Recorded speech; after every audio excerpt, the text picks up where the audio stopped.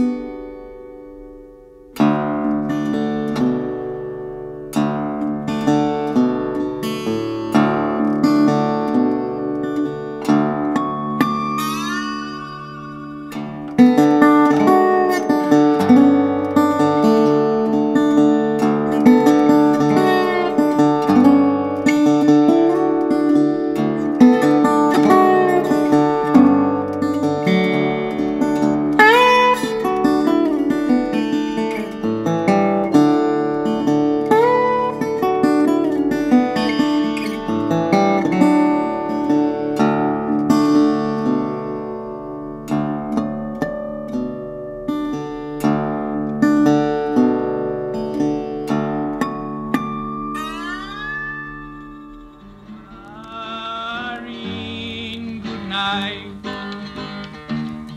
Good night, Irene.